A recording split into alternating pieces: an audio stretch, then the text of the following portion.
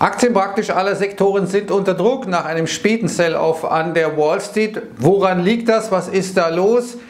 Meine Theorie ist, es gibt an den Märkten immer bestimmte Narrative, die dominant sind und solange sie nicht angeschossen werden, diese Geschichtserzählungen, diese Erzählungen, wie die Welt derzeit aussieht, solange ist alles gut. Jetzt aber ist diese Erzählung angeschossen denn wir sehen, dass äh, dieses bullische Narrativ, diese bullische Dreifaltigkeit, wie ich sie nenne, erstens Delta oder genauer gesagt Corona ist erledigt, dementsprechend wird die Wirtschaft boomen jetzt das ist der, erste Glaubenssatz. Der zweite Glaubenssatz ist, die Inflation ist nur temporary, ist nur vorübergehend, dementsprechend kein Problem. Und der dritte Glaubenssatz lautet, die Notenbanken werden uns ewig helfen, werden weiter auf dem Gaspedal bleiben. Und das ist zumindest nach dem gestrigen FOMC-Protokoll doch ein bisschen in Frage gestellt. Also, das dominante Narrativ wird angeschossen derzeit und genau das hat Goldman Sachs gestern nochmal klargestellt, dass die beste aller Welten, die in den Märkten eingepreist ist, vielleicht doch ein bisschen illusorisch ist, vielleicht doch gar nicht so wirklich der Fall ist. Inflation rauf, Wirtschaft runter, so habe ich getitelt und genau das sagt letztendlich Goldman Sachs in einer Analyse, die ähm, der Einfluss, äh, die Wirkmacht der Delta-Variante auf Wachstum und Inflation sei größer als zuvor angenommen. Und vor allem senkt man jetzt eben zum äh, zweiten Mal in den letzten drei Wochen seine Erwartung für das Wachstum der US-Wirtschaft und man hebt die Erwartungen für die Inflation an nach oben. Das heißt, Inflation rauf, Wirtschaft runter. Und das ist natürlich für die Aktienmärkte jetzt doch etwas anderes als die eingepreiste Beste aller Welten. Und jetzt kommt dazu, dass wir natürlich jetzt den kleinen Verfall haben. Immer eine unruhige Zeit, also Optionen verfallen auf der einen Seite und auf der anderen Seite alle Welt auf derselben Seite und natürlich ziemlich stark gehebelt steht. Und dementsprechend könnte es da ein bisschen Unruhe geben. Jedenfalls bringt der Goldman Sachs jetzt diese bullische Dreifaltigkeit ein bisschen ins Wanken und das ist der, wahrscheinlich der Grund, warum die Märkte jetzt ein bisschen nervös werden. Hier diese Situation mit den Lieferketten, die ja in Sachen Inflation so wichtig ist. Toyota etwa hat jetzt gesagt, wir werden unser äh, globale Produktion um 40 Prozent niedriger ausfallen äh, lassen müssen als zuvor geplant. Ford wird jetzt ein Werk in Kansas City wohl erstmal still liegen, wo eine Bestseller-Pickup ähm, produziert wurde. Also das sind Dinge, die sind nicht so furchtbar temporary, weil eben hier nach wie vor die Probleme in asiatischen Fabriken der Fall sind, die geschlossen haben, in Häfen wie Ningbo der Fall sind, die nur teilweise arbeiten und dementsprechend wird sich das Ganze weiter hinziehen. Das hat man so nicht auf der Agenda gehabt, hat sich aber abgezeichnet. Man hat schlichtweg den Einfluss von Corona unterschätzt, respektive die Reaktion der jeweiligen Regierungen auf äh, eben äh, Corona. Jetzt sehen wir mal hier ein paar Charts, äh, zwei genauer gesagt, Inventory Sales, also praktisch Lagerhaltung zu Verkäufen. Und wir sehen hier die Lager, die leeren sich in äh, massiven Tempo hier oben Vehicle and Part Dealers, also praktisch alles aus dem Autobereich, Fahrzeugbereich, ganz, ganz niedrige Lagerbestände. Das heißt, die Unternehmen waren noch in der Lage, aus ihren Lagern abzuverkaufen. Jetzt leeren sich die Lager. Das gilt für alle Retailer, also praktisch für alle Einzelhändler, wie die untere Grafik hier zeigt. Und das hat inflationären Einfluss, denn was äh, knapp ist, wenn das Angebot knapp ist und die Nachfrage trotz einer vielleicht sich abkühlenden Wirtschaft aber nicht total einbricht, dann steigen die Preise, weil eben das Angebot so knapp ist. Das ist genau der Punkt. Und dementsprechend sehen wir jetzt, dass von einem nachlassenden Preisdruck nichts zu sehen ist. Man erwartet sogar, dass jetzt die Preise für Neufahrzeuge noch weiter steigen, eben weil das Angebot knapp ist. Und jetzt kam gestern das FOMC-Protokoll. Wir sehen hier Aussagen, dass man sagt, ja, die meisten, die Mehrheit der Participants sieht dass man noch in diesem Jahr mit dem Tapering beginnen wird. So heißt es in dem Protokoll. Paul gehört offenkundig zur Minderheit, denn der möchte das eigentlich nicht. Im Februar endet ja seine Amtszeit. Aber man sagt auch in diesem Fettprotokoll, dass man äh, weit im Voraus äh, mitteilen wird, äh, wenn man das tun wird. Und jetzt ist ja Jackson Hole Ende des Monats August, dann kommt das äh, September-Meeting der Fed. Also es könnte sein, dass das noch dauert, dass vor allem also nicht vor Dezember die Geschichte beginnt, wenn überhaupt. Es wird also noch ein bisschen dauern. Die Fed wird es nicht allzu eilig haben, auch wenn viele innerhalb der Fed gestern gesagt haben, also diese Käufe von Mortgage-Backed Securities, von hypothekenbesicherten Anleihen, das ist doch angesichts eines ähm, so derartig boomenden US-Immobilienmarktes äh, vielleicht nicht die beste Lösung. Jedenfalls sehen wir, dass das Ganze ein bisschen hawkisch war in der Summe gab dovische Elemente, hawkische Elemente. Allerdings waren damals eben 27. 28.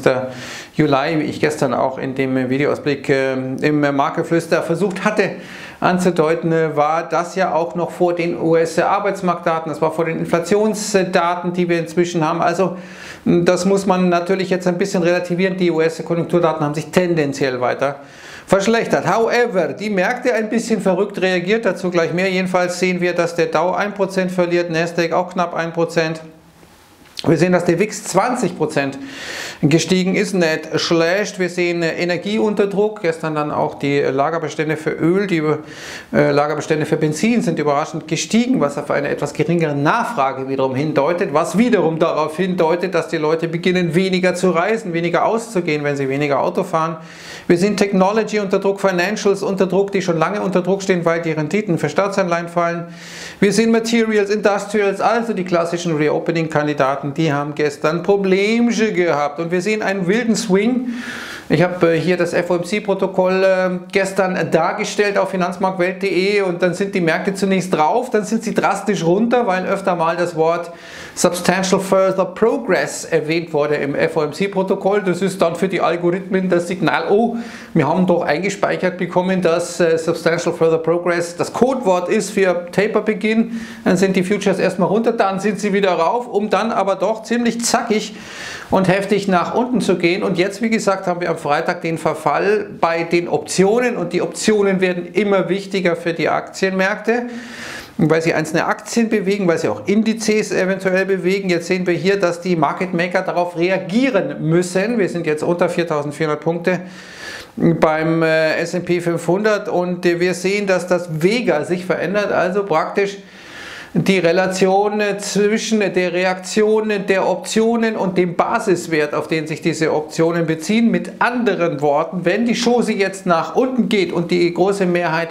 ist long, dann kommt diese große Mehrheit schlichtweg unter Druck, weil eben auch letztendlich die Market Maker sich absichern müssen, selber dann sozusagen sich nach unten diesmal absichern müssen und damit eine Dynamik verstärken. Die einen kommen unter Druck, weil der Markt in die falsche Richtung läuft und die Market Maker müssen mitgehen, um ihre Risiken abzusichern, indem sie eben auch etwa Put-Optionen sich äh, ins Depot legen oder Aktien eben leer verkaufen müssen. Das äh, ist ein Faktor, der zu beachten ist. Mal sehen, wie der sich ausspielt. Aber Faustregel kann sein, je weiter es runtergeht, umso größer der Stress natürlich im System. Und wir sehen das hm, auch der Dollar, der schon lange irgendwie bullisch ausgesehen hat, jetzt diesen Stress im System, im System zeigt, denn der Dollarindex jetzt auf dem höchsten Stand seit November letzten Jahres. Wir sehen Euro-Dollar unter der 1,17er Marke und was Sie unten sehen ist der WIX, der jetzt möglicherweise nochmal zurückschnappt auf dieser an dieser Trendlinie oder er bricht aus und dann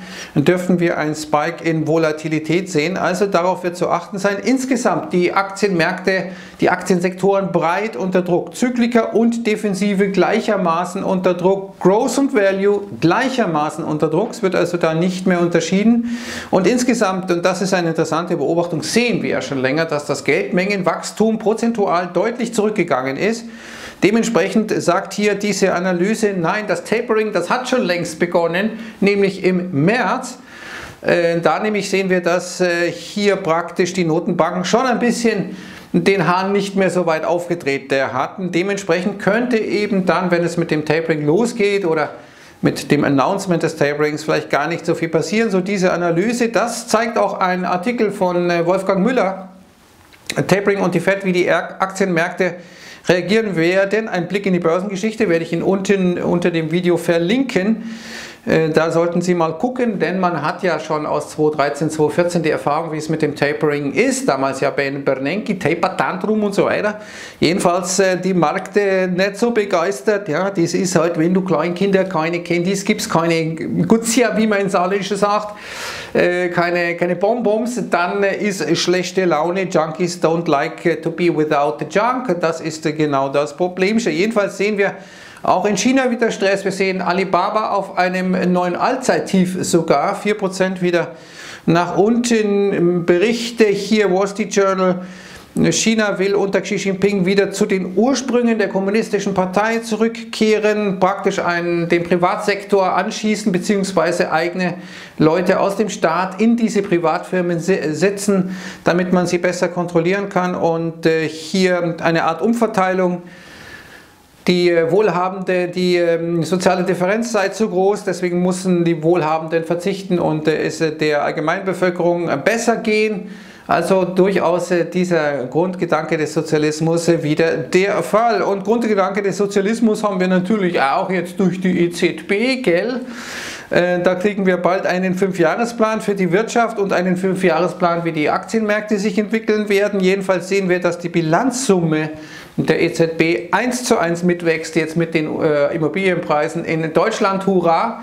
Das sind die segensreichen Folgen der Politik der Notenbanken, Blasen in Vermögenspreisen auslösen, indem man einfach die Geldmenge immense ausweitet. Irgendwo muss dann das Geld hin. Es geht eben in reale Werte. Dadurch bewerten die Märkte reale Werte in einem Übermaß an Überschwang. Das wiederum ist äh, gefährlich, denn irgendwann ist dieser Überschwang vorbei. So war es immer, aber diesmal ist alles anders, meine Damen und Herren. Und diesmal ist alles anders.